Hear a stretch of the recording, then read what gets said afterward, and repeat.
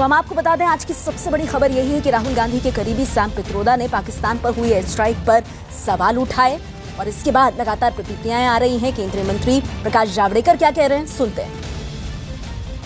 कांग्रेस के अध्यक्ष राहुल गांधी के सलाहकार और एक तरह से गुरु सैम पिट्रोडा का पाकिस्तान का बचाव करने वाला और सेना पर आशंका प्रकट करने वाला बयान बेहद ही निंदनीय है। यही कांग्रेस की सोच है। वो कहते हैं कि सात आठ लोगों ने कुछ किया। इसके लिए देश को जिम्मेवार नहीं पकड़ना चाहिए। पाकिस्तान ने 2004 में अटल जी को लिखित दिया था कि पाकिस्तान के धरती का उपयोग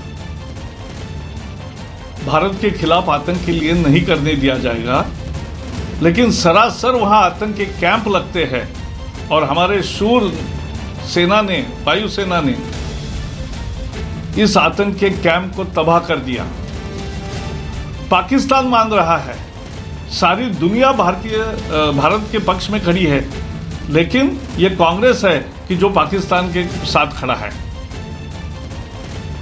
साजिश के तहत हमारी सेना के मनोबल को गिराने का काम कांग्रेस और उसके साथ के लोग कर रहे हैं बहुत शर्मनाक है। देश की जनता ये सब जानती है।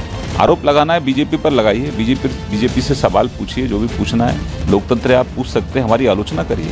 लेकिन सेना ने जो शौर्य पराक्रम का परिचय दिया है, आज सभी भारतीय सलाम कर रहे हैं, सल्यूट कर रहे हैं अपने जावाज सिपाहियों को। और वहीं आप सस्ती लोकप्रियता के लिए, सिर्फ़ वोट बैंक के लिए आप सेना के स्वर पराक्रम पर सवाल खड़े कर रहे हैं। ये बहुत शर्मनाक है।